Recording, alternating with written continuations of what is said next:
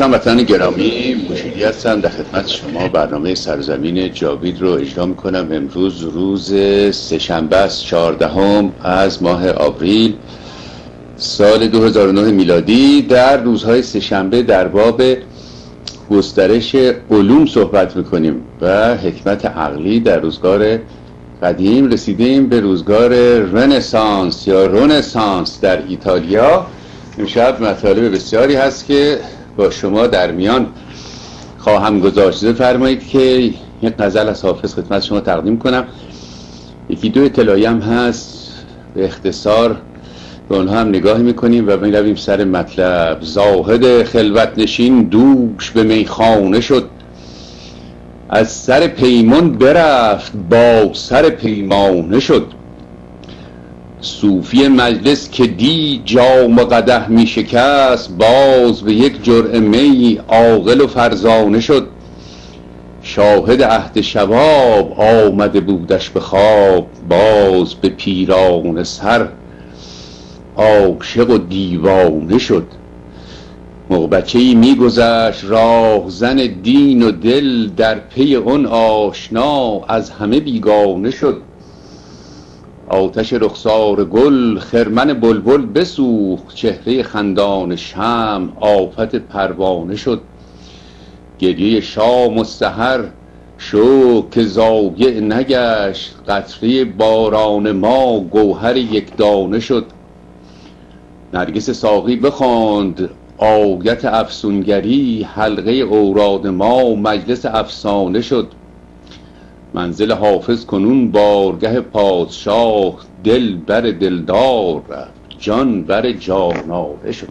مطمئن نیستم این مصرع آخر از حافظ باشد. اما خب این بزرگوار که یک نابغه یک بینظیری بوده است مصادره کرده از رودکی تا سعدی. هرچی مضمون زیبا بوده این بزرگوار مصادره کرده. در واقع اگر ما بخوایم بگیم حافظ به عنوان یک شخصیت مستقل در واقع بایستی بگوییم رودکی و علاوه سنایی و علاوه جمال الدین اصفهانی و علاوه نظاری قوستانی و علاوه سلمان ساوجی و صدها نفر دیگر. و علاوه عرض می‌کنم سعدی و بسیارانی دیگر می‌شود این غزل های ناب حافظ شیرازی. بله.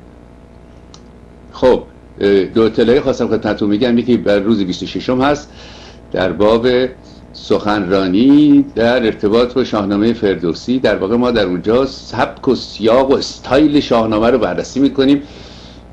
و چرا فردوسی تا این حدازه موفق بوده است تا این اندازه و دیگران نبودند و در روز نهم می هم در 2575 مکه وی خواهیم بود در اورنج کانتی و در باب آینده دموکراسی در ایران صحبت می‌کنیم. و موضوع دیگر که خواستم خدمتتون عرض بکنم این است که پنجشنبه اول هر ماه اگر اشتباه نکنم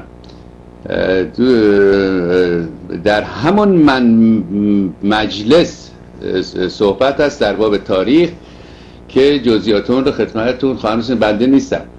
البته عرض شود که دوست دیگری هست که نامشون رو در این لحظه یک مرتبه فراموش کردم که بعد خدمتتون عرض خواهم کرد. دوست عزیز منم هستشون. باری ایزه بدید که برویم سراغ این کارهای تبلیغاتی رو ما بلد نیستیم درست انجام بدیم. برویم سر اصل موضوع موضوع رنسانس که چگونه این ماجرا به وجود آمد. هر شود که ردیابی چگونگی پیدایش رنسانس بسیار مشکل است. موضوع کاملا پیچیده است اما عناصری هست که می‌شود به اونها اشاره کرد که چرا ناگهان در ایتالیا به وجود آمد این داستان و روشنگری و دستیابی به علوم از همین روزگار رنسانس آغاز شده است. یعنی پایه های اون چی در قرن 17 هم پیدا شد. چون قرن 17 هم مهمترین قرن هست اینها پایه هاش در واقع در روزگار رنسانس بوده است. اگر رنسانس نمی بود البته روشنگری و بیداری نمی بود علوم هم نمی بودن. و رهایی از دست دین. و می‌خواستم خدمت شما عرض کنم که این دین به مسابه پیرمرد دروغگوی پیری بوده است و هست که در هر مرز و اقلیمی هر نوع دروغ گفته و بچه های خود رو کاملا گیج و سرگردان کرده و جنایات بسیار کرده و هیچ دستاوردی هم نداشته. به عجب اون که علاقه این بچه ها به این پیرمرد دروغگوی جنایتکار به حدی است که تا صحبت می‌کنیم با, با رگ گردن برخورد می‌کنیم آقا این دروغگوست. یک سخن راست نگفته. در همه جا دروغ گفته. در هندوستان دروغ گفته. پر خرافات بوده این هندوستان. اساسا کارخانه خرافات در هند بوده. در خاور میانه چه میزان دروغ گفته و دروغگوترین همه این هم همین توحیدی ها هستن. چون دروغ شگفتانگیزی گفتن. حالا بیچاره این ادیان هندی چیزایی که می‌گفتن بر خرافات بود چون نمی‌دانستن. می‌گفتن این رودخانه گنگ سرچشمه از کله لورچیواست چون نمی‌شد رفتید که آقا این سرچشمه این رودخانه رو پیدا کرد. خیلی سخت بود رفتن به اوج هیمالیا ببینیم کجاست. اینها. اما این که خداوند احد واحدی هست و شما رو خلق کرده است و اینها این بزرگترین دروغ است که گفته شد. بزرگترین محملی که گفته شده همین محمل خداوند میفرماید است. چندین قرن این پیرمرد دروغ گفت و جنایت کرد و میترسید که نکنی بچه ها بیدار بشن هویت اصلیشو بازگو کنن. و یکی از این فرزندان که این پدر بزرگ پیر دروغگوی خوناشام رو بر ملاکر گالیله بوده اهمیت گالیله در این معرفی این پیر دروغگوست. مثل این نازی های قدیم دیدید پیر شدن چندین هزار نفر رو کشتن فرار می‌کنن به آرژانتینی جایی یه کسی پیدا میشه میگه آها این همون جنایتکار است. من میدیدمش. این داستان دین به این وحش بوده. هموطن گرامی. و اساسا عرض می شود که ما با قضایای حقیقی جهان درگیر هستیم. با مزامین واقعی درگیر هستیم. کار امر حقیقی است. گرسنگی امر واقعی است. اجاره خانه امر واقعی است. شما شنیده اید که یک مسلمان خیلی مؤمنی بود سی سفر حج کرده بود شب و روز نماز بخوان اما اجاره خانهش رو نداشت ریل آمد از سوراخ چیزی انداخت پایین. یعنی ما با امور واقعی جهان از بام تا شام کشتی می‌گیریم. باج می‌دهیم به امور موهوم. بهشت موهوم و جهنت موهوم و خدای موهوم و جبرئیل موهوم و همه موهوم. هیچ کدام از این عباراتی که ما بر زبان جاری می‌کنیم مضمون واقعی ندارن. حاوی مضمون واقعی نیستن. این بچه های هوشمند خدای واقعی اینها رو به ما وقتی عبارتی صادر می‌کنیم باسی ببینیم حاوی مضمون واقعی هست یا نیست. مثلا می‌گوییم که اون سوی منظومه شمسی یک کره است در اونجا آدم زندگی می‌کنه. این محمل نیست این عبارت. به جهتی که قابل تحقیق هست. ممکن است ما امروز تکنولوژی نداشته باشیم که بتوانیم برویم این کرات یا این کره رو کشف کنیم. اما چون قابلیت تحقیق داره در این, در این موضوع ما محمل نگفتیم. این سخن محمل نیست. اما وقتی می‌گوییم خداوند تبارک و تعالی غیر مسلمانان را دوست دارد این جز محمل هیچی نگفتیم چون هیچ وسیله‌ای برای اثبات این نداریم داریم مزخرف میگیم. عذر می‌خوام از شما. هیچ ارزشی این عبارت نداره جز که محمل.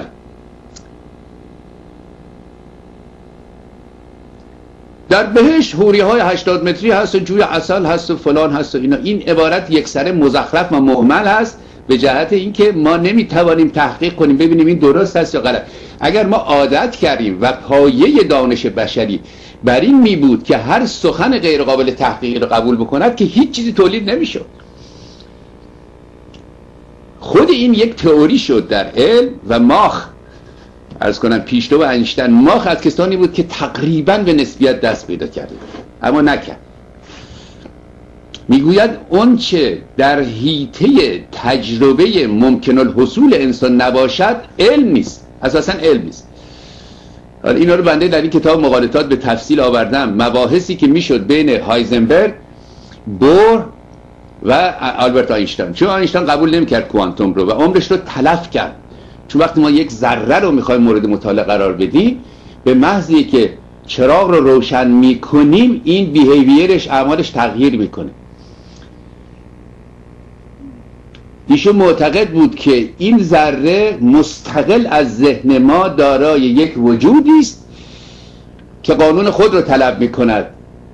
کوانتومیستا می‌گفتن نه این چنین نیست. اگر ما ندانیم که اون چگونه عمل می‌کند اساسا ما علمی داره بنابراین این داستان عدم قطعیت هایزنبرگ که آورده بود درباره کوانتوم که امروز زندگی بشر مدرن با کوانتوم هست با فیزیک مدرن هست همون داستان عدم قطعیت بود و از کنم که ریاضیات ماتریس و یه حرفا که مطلبش جداگانه است که ما بتوانیم این رو در تجربه ممکن الحصول خود وارد کنیم روش مطالعه بکنیم.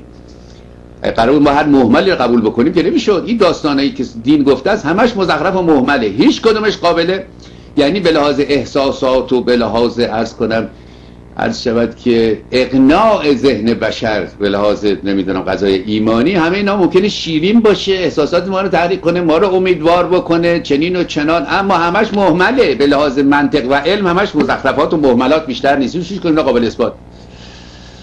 حتی آقای جوزف آیر می‌گوید اون کسی که می‌گوید خر شاخدار وجود ندارد محمل بودن سخن این این نیست که واقعا خر شاخدار وجود ندارد. این ابتدا به خر شاخدار معتقد شده و بعد گفته وجود ندارد.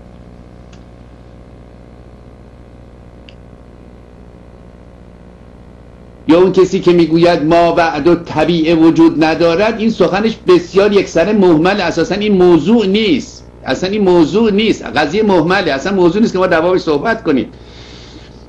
این خودش از معتقدان ما بعد و طبیعه است که دلیل عکس آورده. دلیل مخالف آورده. وقتی ما می‌گوییم که بهش چنین است و فلان چیزی نمی‌گوییم. اساسا ما چیزی نمی‌گوییم که بخوایم در بابش بحث کنیم. داریم محمل حرف می‌زنیم.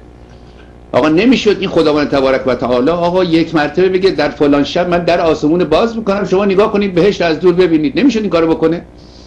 یا یک آدمی رو بفرسته با چند تا میکروفیلم و نمی‌دونم از این ویدیوها و اینها بگه آقا من برگشتم این ویدیو جهنم بهشته.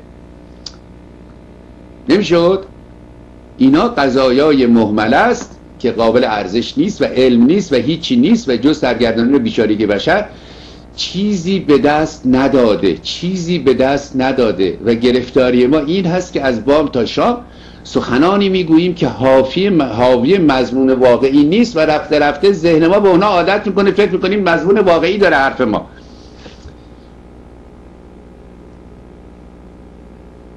باری این پیر دین که چندین هزار سال از عمرش گذشته بود پیر دروغگوی شیاد حق باز داشت دستش کم کم باز می‌شد بی آبرو می‌شد. گفته بود که ما چگونه به این دنیا آمدیم؟ به ما گفته بود این جهان چگونه به وجود از ما پذیرفته بودیم. این پیر دروغگو به ما گفته بود زمین مثل بشقا ما پذیرفته بودیم. وسیله نداشتیم که عکسش ثابت کنیم. به ما گفته بود که این شبای خورشید میره تو چشمه لجن. قبول کرده بودیم. گفته بود این آدم از نمی‌دونم گل کوزگری و نمی‌دونم لجن گندیده درست شده. اینم پذیرفته بودیم. چون وسیله نداشتیم اینو بی کنیم این پیر دروغگو رو. به ما گفته بود که این کوها میخ زمینن پسرم. این کوها میخ زمینن. این اگه این زمین نبود نمی جنبیدن گفتیم باشه راست میگه میخ زمینن. نگاه میخا رو نگاه کن. اوتاد الارض. به ما گفته بود که فرشته ها هستن و آدمای میان از اون بالا و پیغام میارن و پیغام می‌برن و نویسندگی می‌کنن و خدا چاپارخانه دارد و تلکس و تلگراف میفرستد و همه این دروغای شاختار رو گفته ما قبول کرده بودیم. جرأت هم نمی کردیم یعنی کسانی بین ما پیدا شدن باهوش بودن میگن بابا جون این که این درست به نظرم درستی. گفت خفش کنین این را در واقع آدمایی که شبیه این خدا هستن این خومینی خیلی شبیه اون خدا بود. ذهنیتشو میگم ها هیچ ابزار و وسیله ای نبود که ما ثابت کنیم که این پیرمرد ارز کنم خرفه. قدیمی دروغگوی جنایتکار دروغاش رو با سند بذاریم مقابلش و اینو بیابرو کنیم از صحنه زندگیمون بیرون بکنیم. نداشت وسیله نبود هیچ نبود. و عرض کنم که رسیدیم به روزگار رنسانس و این اروپا هر شود که در قرون وسطا که سه قسمت هست قرون طبقه بندی ها دارد. البته بستگی داره کدام تاریخ رو نگاه می‌کنید و اینها. طی شده بود روزگار سیاه هزار سال گذشت هیچ چیز تولید نشد. هیچی یک دوک. از کنم که یک چی نمی‌دونم سوزن خیاطی هیچی فقط مردم بیچاره رو زراعت می‌کردن و اینا به همون شیوه روزگار چوپانی اینا زندگی می‌کردن. هیچ علمی نبود واقعا. هیچ علمی نبود و هیچ دانشی نبود. اگر کسی هم پیدا می‌شد از هوشمندان این که میگه آقا این درست نیست این قضیه به نظر من غلطه. چارش سوزاندن بود چون می‌گفتن این سخن شیطانی گفته و شیطان رو فقط آتش از بین می‌بره میبردن مقابل کلیسا و آتش می‌زدن. این کار ارز کنم نمایندگان اون پیرمرد خرف بود که خدمتون عرض می‌کنم. تا اینکه اوضاع رفته رفته دگرگون شد. این ایتالیا یک جای خاصی بود. هر جا در جهان اتفاق خوبی افتاده بدانید در اونجا یه اندک آزادی بوده. این دانشمندان بزرگی که در یونان ما از اونها نام می‌بریم و بشریت همواره به اینا افتخار می‌کنه به پیشانی بلند اینا افتخار می‌کنه. آدم مثل فیساغورس و افلاطون و ارسطو و نمی‌دونم. آناکساگوراس پروتاگوراس بشمریم لیست خیلی بلندی هست. به جهت این هست که این یونان به صورت یک دیکتاتوری دیکتاتوری متمرکز نبود. مثل فرض کنید ایران ما. جزیره جزیره چندین هزار جزیره در اونجا هست. اگه نگاه کنید به نقشه. اینا به صورت سیتی استیت بودن. یک کت خدا داشت یه شهردار داشتن. فضا آزاد بود در این آزادی بود است که توانستن اینا مسافرت ها بکنن چیزها از بابلی ها بیاموزن چیزها از ایرانی ها بیاموزن چیزها از مصری ها بیاموزن و بیاین و بنیاد دانش رو پیریزی کنن. این کتاب منطق ارسطو ارگنون که دست بنده هست واقعا هم حیرت می‌کنه از عمق هوش از عمق هوش این مرد آدم واقعا سر تعظیم فرو میاره که چگونه به تنها تنخیش یک علم نیرومند که همه علوم مبتنی بر آن هستن از ریاضی بگیرید تا تا تا عرض کنم که موسیقی یک مرتبه یک شبه اختراع کرده. به لطف اندیشه اصیل خود ارسطو این علم منطق رو به میان انداخته و قافل سالار معرفت شده است این مرد. حالا بگذاریم که سوء استفاده کردن. و دوگم حاکم شد بر اذهان و بر هر چیز بشر پیشرفت میگرد چیزهای چیز بهتری به دست میگرد نه ارسطو حرف آخر رو زده. حکم دین پیدا کرد. این ارسطویسم هم حکم دین در حالی که این مخالف ذهنیت خود ارسطوست چنین چیزی. چون خود او آمده بود و بسیار رد کرده بود. و ارز کنم که بنیاد منطق رو این مرد ریخته. به جهت آزادی بود که در یونان به وجود آمده بود.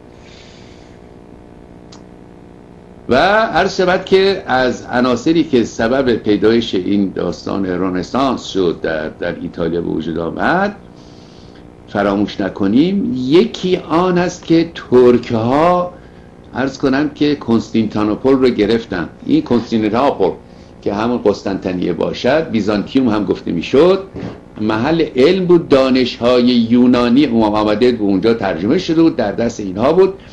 درست همون قضیه که در روزگار هیتلر اتفاق افتاد. و وقتی او آمد گفت ما دانشمند یهودی لازم نداریم. و بیشتر از 2500 دانشمند یهودی بیشتر فیزیکدان بودن گریختن از, از آلمان نازی پناه آوردن به مغرب و علوم پیشرفته در واقع آوردن به آمریکا و, و, و انگلیس که داستانش خدمتون پیش از این گفتم. اینها کتاب ها رو برداشتن گریختن رفتن ایتالیا. وگرنه اروپاییان هیچ اطلاعی نداشتن قرن 14 هم 15 هم که ارز کنم که علوم چگونه از ریاضی چیست و می‌دونم ارز کنم که پزشکی تا چه حد 20 نجوم تا کجا هیچ نمی‌دانستن. مردمانی بودن زندگی می‌کردن یه داستانی هم داشتن مسیحیت و پوپ و اینها حاکم بود. پیش و این گوت ها رو خدمتتون گفتم وندال ها و گوت ها و ارز کنم که آستروگوت و ویشی گوت این قبایل بربری که جرمنیک بودن و گرفته بودن اونا هیچ معرفتی نداشتن. اساسا به معرفت نمی‌دونستن چی هست که الان گسترش هم بدهن. و این از کنم ترمی که هست به نام گوتیک آرت. این هم مثل همون هنر اسلامی است. این گوتای بیابانی که هنری نداشتن. منتها چون در دوره اینا بوده است میگن گوتیک آرت. مثل هنر مغولی. مغول که هنری نداشت. یا اسلام که هنری نداشت. در دوره اینها آدم های هنرمند پیدا شدن که بعضی کارها کردن و به نام اینها معروف شده است. متاسفانه. باری. خدمتتون می‌گفتن که اینها گریختن رفتن به ایتالیا و ایتالیا جایی بود که کارش بیشتر با دریا بود و بازرگانی. و اگر نگاه بکنیم وضعیت حکومت در شهرها یه چیزی شبیه همه یونان بود. آزادی وجود داشت. رپابلیکا فرانس میگیم. از اینجور رپابلیکا زیاد بود کوچیک کوچیک که اینها شهردار داشتن. اینها یک آزادی بود. در روزگار قدیم نمی‌شد مثل روزگار جدید استبداد آورد. این روزگار جدید ضمن آوردن مدرنیتی و ارز کنم که دموکراسی و ایندیویدوالیزم و اینها اما به واسطه این که تکنیک های جدید را هم آورده برای شکنجه و کنترل و استراق سم و اینها دیکتاتوری ها رو وحشتناکتر کرده در اون محیط های دیکتاتوریزا مثل کشور خودمان الحمدلله رب العالمین که ما هم در روزگار همین قاجارها دیکتاتوری بود اما چهار تا آزادی خواهم پیدا می‌شد. چون شاهان قاجار که نمی‌توانستن مملکت رو کنترل کنن. خب نگاه کنید به این تاریخ. ببینید مردان دلیر پیدا می‌شد. بعد که استبداد آمده حکومت مرکزی و ارتش قوی و سیستم نمی‌دونم اطلاعات و اینها خفه کردن خوش کندن همه چیز رو. دیگه روشن فکر به وجود نیامد. بعد از آمدن این دستگاه های جدید و سیستم های اطلاعات و ضد اطلاعات اینا تا توالت آدم ها رو کنترل کردن. هر جا می‌رفتی میترسیدی که نکنی کسی پشت سرت هست. تقریبا کار خود رو به حد الله رسونده بودن با این تکنولوژی. چون الله و تشکیلات دین هم مثل این استبدادیون ضد اطلاعات لازم داره که شما رو کنترل بکنه. فقط کافی نیست شما متظاهر به دین باشید در مسجد نماز بخوانید و عرض کنم باز لب روزدار در جامعه ظاهر بشوید و بار حج ببندید. نه در خلوت هم این همراهتونه. منتها اونجا ضد اطلاعاتی و ساواکی و سوامایی نداره. اونجا می‌گوید یک فرشته روی شانه راست داره یادداشت می‌کنه. حواست باشه خلاصه. میری به جهنم. یعنی ایجاد رعب و وحشت می‌کنه. در تنهایی هر آدمی در ساکی خودش داره میترسه از این الله. و باید ما رها بشویم. آقا این دو روز زندگی بدون ترس زندگی کنیم. هم ترس از این الله هم ترس از اون دیکتاتوری که نشسته اونجا حالا هر کی هست. پوتین پاشه این پاشه فرقی نمی‌کنه. تاج سرش امامه داره. ماهیتش همون نکبته. فرقی نمی‌کنه. با ایجاد رعب و ترس دین برجاست. حالا یک آدم رندی آمده می‌گویند من من اسنادشو ندیدم. می‌گویند در روزگار این پوپ و اینها که مردم از جهنم میترسوندن رفت گفت آقا همه رفتن بهش این بهش میفروختن اینا. ثروت های کلان می‌گرفتن بهش میگم من مثلا آقا یه میلیون میدم شما به من مثلا سی متر مربع از بهش بدیم یکی مون گفت که منم 60 میلیون میدم به من 60 متر مربع بدیم یکی کسی گفت من می‌خوام جهنم بخرم. گفت آقا کسی نعمت داره جهنم بخره. گفت من 6 دنگ جهنم رو می‌خوام بخرم. پول زیادی هم داشت و این داستان رو گفتن. من به قول معروف افواهی شنیدم به قول عوام. همه جهنم رو خریده پولش هم پرداخت کرده سندش هم از چیز گرفته از پپ گرفته با مهر و سیل و اینا که این آقا جهنم رو خرید. اومده اعلام کرد آقا من جهنم رو خریدم درش قفل می‌کنم. مال منه. هیچ کس نترسه امروز از جهنم چون من هیچ کس را نمیدم در جهنم.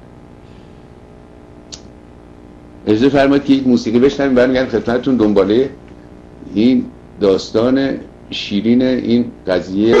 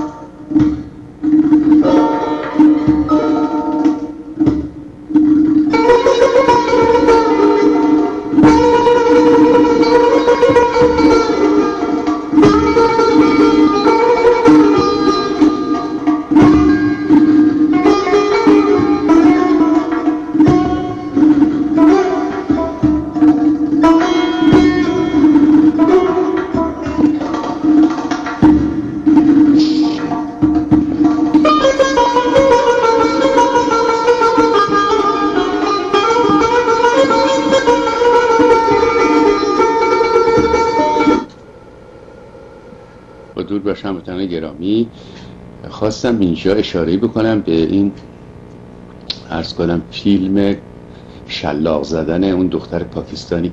باردین اگه ممکنه لطف کنید سایت رو نشون بدید. نزدیک پنج هزار نفر البته کمتر هموطنان امضا کردن. بسیار سپاسگزارم واقعا از این مشارکت و این حس مسئولیت. ما بایستی بتوانیم از این کارها به طور گروهی انجام بدهیم که بگوییم آقا ما داره یک صدای واحد هستیم. و به سرعت هموطنان امضا می‌کنن. به طور متوسط روزی هزار نفر امضا می‌کنن. و امیدوار هستم که ما بتوانیم بله ببینید 4793 نفر هموطنان ما لطف کردند و امضا کردند و همچنان به طور متوسط روزی بین 800 تا 1000 نفر هر 24 ساعت امضا می‌رسد. توصیه می‌کنم خدمتتون لطف کنید امضا کنید اینجا دیگه صحبت وحشت از جمهوری اسلامی و نمی‌دونم تشکیلات اطلاعات و ما رو می‌برن به دادگاه انقلاب و به ما چه ما یه زمین داریم حالا می‌خوام بریم تو شخصوار بفروشیم این دیگه نداره. یک موضوع انسانی است و واقعا ما باید تکلیف خودمون رو روشن کنیم با قضیه از کنم که دولت و سیاست. اگر که این کاره هستیم واقعا دلمان میسوزد. بایستی دست از این داستان ترس و وحشت و اینها برداریم. اگرم که میترسیم وقت خودمون رو تلف نکنیم بام تا شام. اینقدر در بابش صحبت بریم دنبال زندگی خود ما این است که هم باشیم و هم نباشیم که میسر نیست که عزیزان که این داستانم که داستان پیش پا افتاده ای نیست این موضوع استبداد. این موضوع استبداد خیلی موضوع جدی است. این داستان رو جدی نگیریم. مشکل ما فقط استبداد است عزیزان. هموطنان ما نه کمبود اسلام دارن نه کمبود معنویت دارن. عرض کردم هزاران پیغمبر باعث بیان بشینن خدمت مولانا جلال الدین ایرانی و, و از کنم سعدی ایرانی و عطار ایرانی و خرقانی ایرانی کسب معرفت بکنن. ما کمبود دین نداریم. کمبود معنویت نداریم. کمبود آزادی داریم. هموطن گران مشکل ما مشکل استبداد هست. این داستان هم که راجع به دین می‌گوییم و اینها بدون جهت هست که امروز دین حاکم شده است. همه اینها چماق شد. اسقر چماق هست و اکبر چماق و ابوالفضل بیدست چماق هست امروز. یعنی مخارجی برگردن ملت ایران گذاشته این عباس بیدست. این حسین تشنه مخارج بی اندازه دولتی برگردن این ملت گرسنه تحمیل کرده. یعنی کسی کار می‌کنی حرفا نداره هر کسی یه دین داره به خودش مربوط. این مالک اشترم برای ما خرج برداشته. شما فکرشو بکنید هزارون گرسنه در کردستان و بلوچستان و نمی‌دونم شمال و جنوب این مملکت هست. اینا کسی اینا رسیدگی نمی‌کنه. میگن ببینن قبر مالک اشتر کجاست برن گنبد طلا درست کنن یه حرفا. مسلم و مسجد هر روز. این است که ما درگیر شدیم با قضایات که نشون بدهیم آقا پایی حکومت اینا بر دروغه. اگر چنین نبود ما کاری نداشتیم که. ما چه رفتی داره داستان؟ دین دین هر کس به خودش مربوطه. دولت هم بایستی بگوید دین هر کس به خودش مربوط است. اساسا اون دولتی دولت است که کاری به دین مردم نداشته باشه. هر روز ببینیم چهار تا یهودی گرفتن و چهار تا باهایی گرفتن دارن محاکمه می‌کنن. چه خبر؟ اینا جاسوسن. این سنیا اهل کتابن فکرشو بکنید چند میلیون اهل تسنن در مملکت ما یعنی اینا کافرن. اینا, اهل ذمه هستن. اینا جز مسلمانان به حساب نمیاد. خب در این فضا ما باید چیکار بکنیم مثلا؟ بگویم اینها بر حقن. این حرفا حرفای خوبی است آخوندها بدن. آخوند که مردنی است این داستان سر جاشه. ما باید ثابت کنیم این داستان ها محمله به درد حکومت نمی‌خوره. نگه بشیم راجع به رفسنجانی صحبت کنیم و نمی‌دونم کی مشکینی و فلانی حرفا. اینا تکلیفشان یک روز در دادگاه ملی باید معلوم بشود. اما ریشه قضیه است که برای ما در سر درست کرد. حرفای جدیدی نگفتن اینها. حرفایی که اینا زدن خمینی زده نمی‌دونم حاج ابوالحسن اصفهانی گفته اونایی که اون اون مردک گفته نمی‌دونم مجلسی گفته اونایی که مجلسی گفته کلینی گفته شیخ توسی همه مزخرفات گفتن. بایستی ما محمل بودن این موضوعات رو یعنی بخش عملی این محملات رو در جامعه ما بررسی بکنیم تا بتوانیم بگوییم این این حکومت بی اعتبار هست. این است که دست ما درگیر شده است به نقد دین. حالا نفرمایید که این مشیری چرا نمیاد از یهودی ها بگه آقا به من چه ربطی داره یهودی؟ روزی که خاخاما اومدن مملکت ما رو گرفتن نشستن اونجا تخت شلاق گذاشتن راجع به اونا هم صحبت میکن یا مسیحی ها چی بنده نشستم اینجا در باب امور همه عالم صحبت کنم آقا جان این ما داستانمون اینجا داستان آزادی خواهی است پدر جان. باری خواهش می‌کنم لطف کنید این امضا بکنید.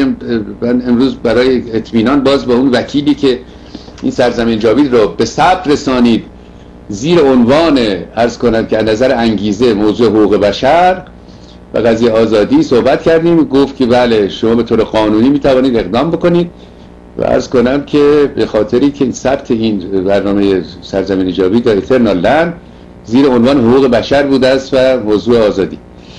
و دموکراسی در ایران. خیلی ممنونم عزیزم.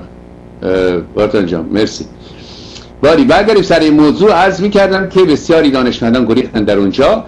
در و گذشته از این این شهرهای ایتالیا به طور مجدا از هم اینا حاکم ها داشتن و آزادی بود. این آزادی سبب شده بود که مردم با هم صحبت کنند و یک واقعی دیگری که اتفاق افتاد و آدم های عاقل همیشه از وقایع بد استنتاج های خوب بایستی بکنن مرگ سیاه آمد در, در اروپا و ایتالیا رو خیلی صدمه زد. این مرگ سیاه از تاون بود اروپایی آشنا نبودن باش و ارز کنم که ناگهان این تاون رایج شد و, و قتل عام غریبی کرد در, در اروپا.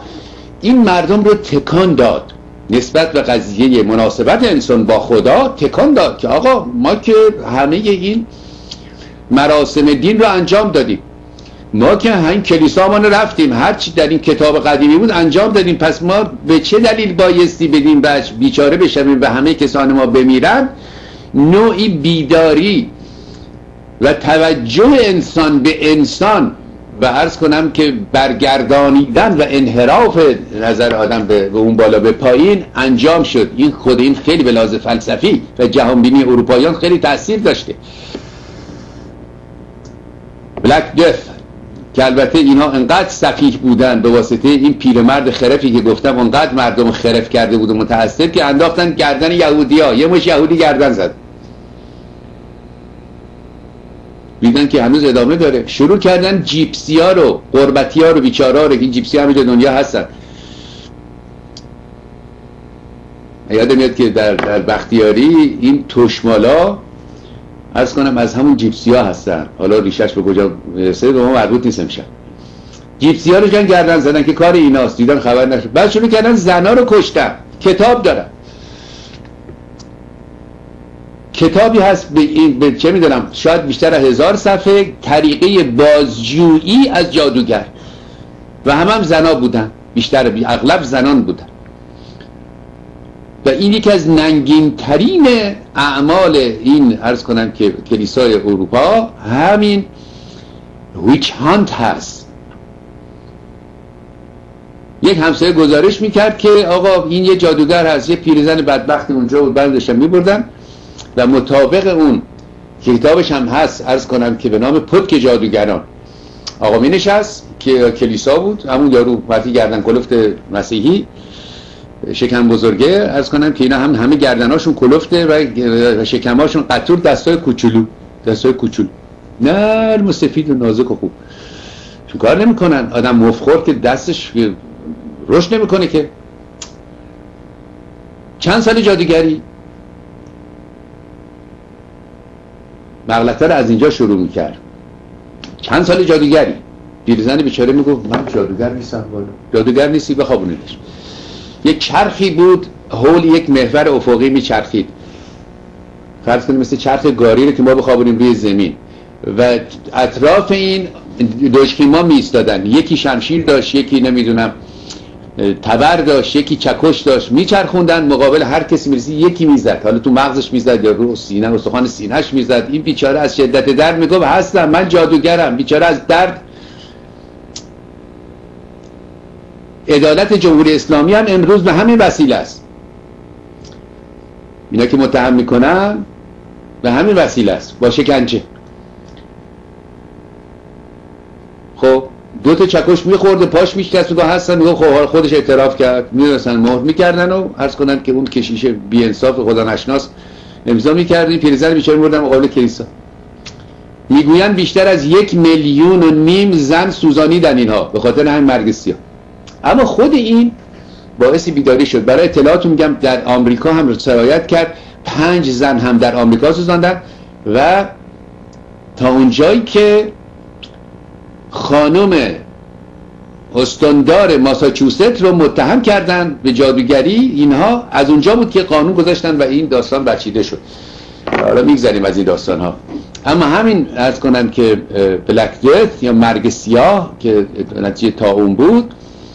حالا بگذاریم که انگلیس ها انقدر انصاف داشتن آدم های خیلی خوبی بودن که می اینجا پتون می آوردن میکروب تاون می‌دادن به این سرخپوست های بدبخت.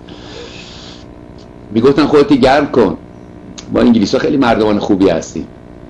قبیله بعد قبیله اینها از بین رفتن بیچاره سرخپوست های مملکت. واقعا این جنایاتی که انگلیس ها کردن در تاریخ انسان کسی نکرده. اینو فراموش نکن. جنایتکارترین آدم ها این انگلیس ها بودن در تاریخ. خونسرد با منطق آرام.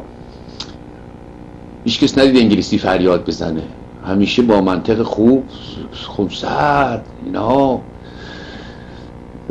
قطور رو میوافتن و میوردن با تاون رو می‌دادن و بماند. و این باعث توجه شد که انسان توجه بکند که پس کسی اون بالا نیست. پشتیبانی ما نداریم. اگه همه جهان رم این تاون از بین ببره هیچ خدای رحمان رحیمی نیست که آقا تاون از بین برو. بله. خیلی ممنونم عزیزم. وارتان جان عجب تصویری نشون دادید. بله. ملاحظه فرمایید اینها یک نمایشی است از این داستان. ببینید اون آقام داره اونجا الذین ینقضون می‌خونه که خبری بشه که نمیشه. بله به به. یعنی به به به وارتان بله اینجا وحشت غریبی رو در این تابلو به خصوص که نشون داد دیده میشه. این بلک دث یکی از وقایع عظیم تاریخ اروپا است ضمن اون که می‌گویند قریب 60 میلیون نفر در اون روزگاران از اروپاییان از میان برد معزالک به نوعی در جهانبینی اروپاییان تأثیر کرد. این مردم اروپا خیلی عکس عمل خوب نشون می‌دادن در مقابل حوادث بزرگ. همین جنگ جهانی اول جهانبینی اروپاییان رو تغییر داد و جنگ یعنی جهانی دوم هم به همچنین. یعنی نمی‌شد که یک واقعی به این درجه از عمل اتفاق بیفتد و نظر متفکران روحی جامعه رو تغییر ندهد. این هم یکی از از کنم که علل بیداری شده است به واسطه ای که قطع امید از اولو الامر خداوند تبارک و تعالی اما در این کشورهای اسلامی هر اتفاقی بیفته فرقی نمیکن یا مردم زلزله میاد نمی‌دونم در ترکیه در پاکستان چندین هزار آدم بدبخت بیچاره رو می‌کشه. میگن که کار خدا بوده. حتما اینا یه کاری کرده بودن. آخوندهای شیعه که میگن اینا خمس نداده بودن ملاعین این یک مطلب بوده.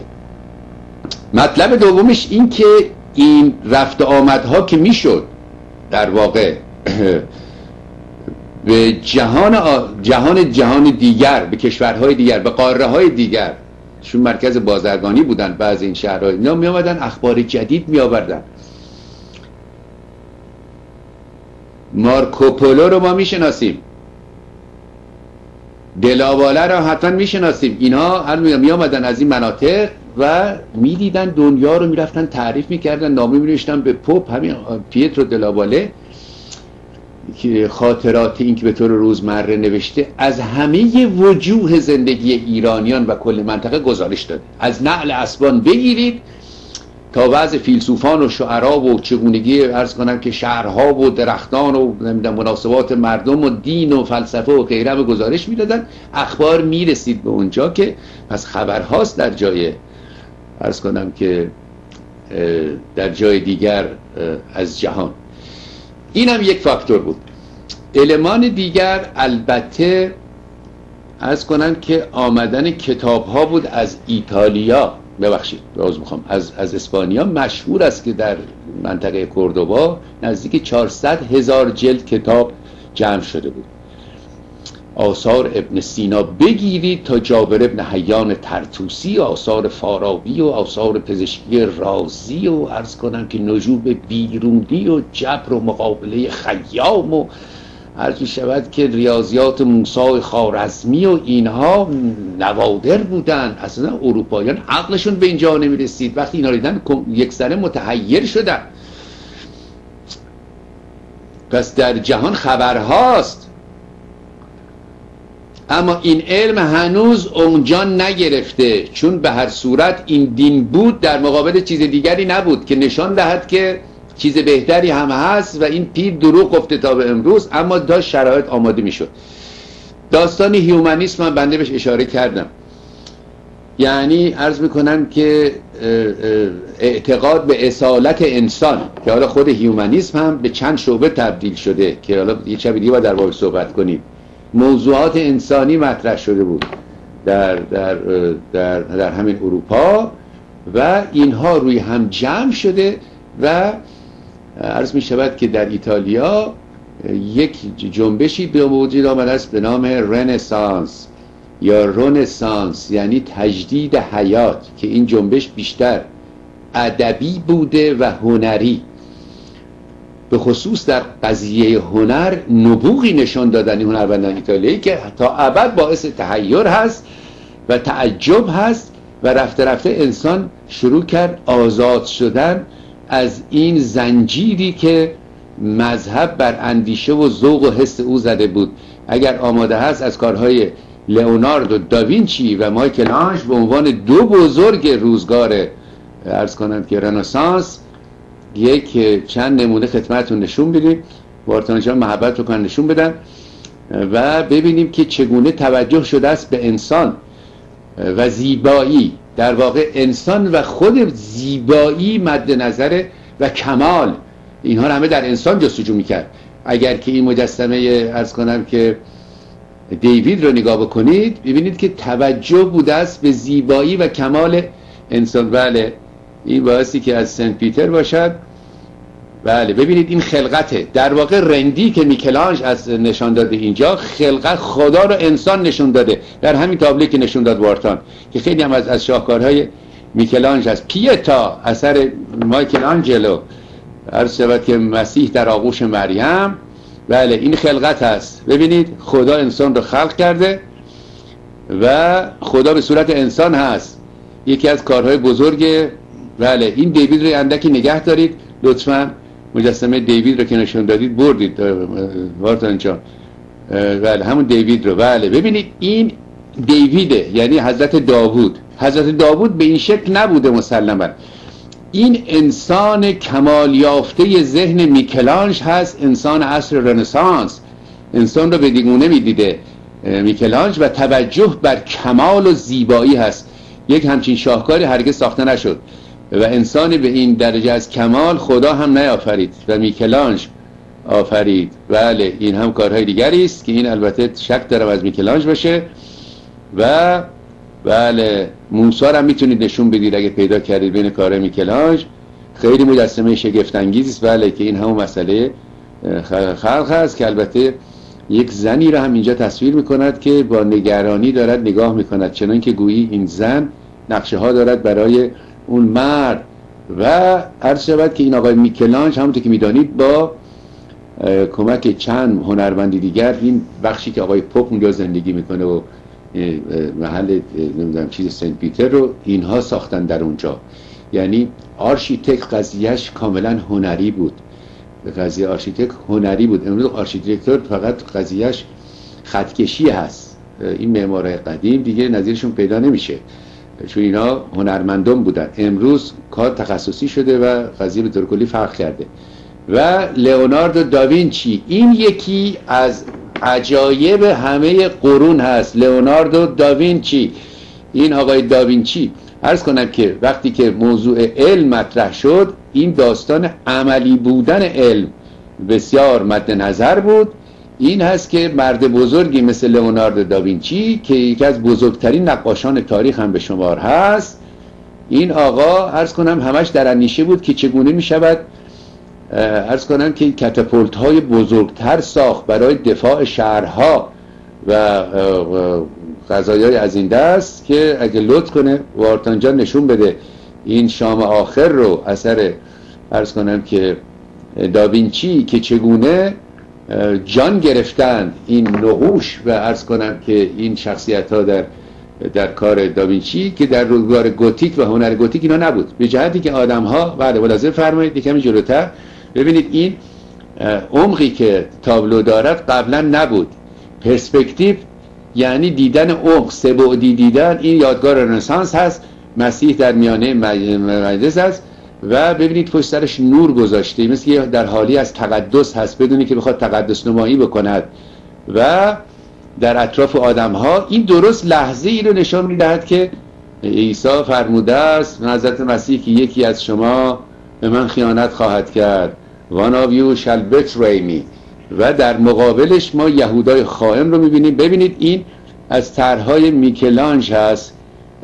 تردید دارم. این طرح میکه بله بله. و طرح میکلانج هست و به سیاه قلم هست. من نمی‌دونم این چیزی که ساختن از ببخشید داوینچی عذر می‌خوام.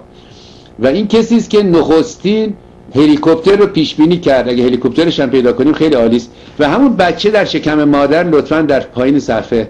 بله ببینید این طرحی است که از هلیکوپتر داوینچی کشیده.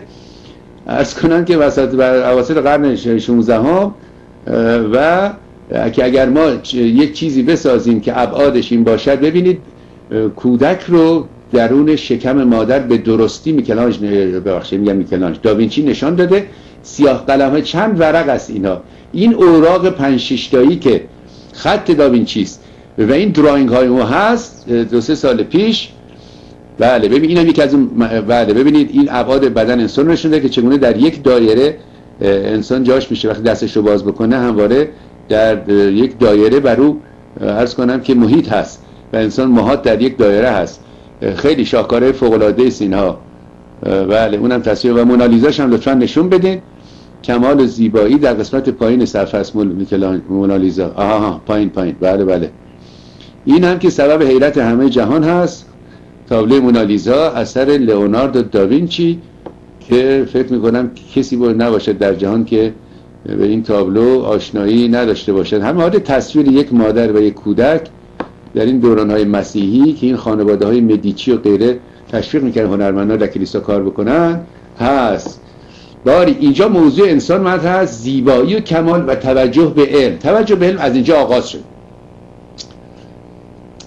و هرچه ما پیش بله بارتان اشاره کرد که وقت ما هم در اینجا تمام شد. باز توصیه میباری خواهم خدمتون ارز کنم که پنجشنبه اول هر ماه آقای آل احمد گفتن فکر می‌کنم. دوست گرامی و فاضل ما آقای محمد امینی.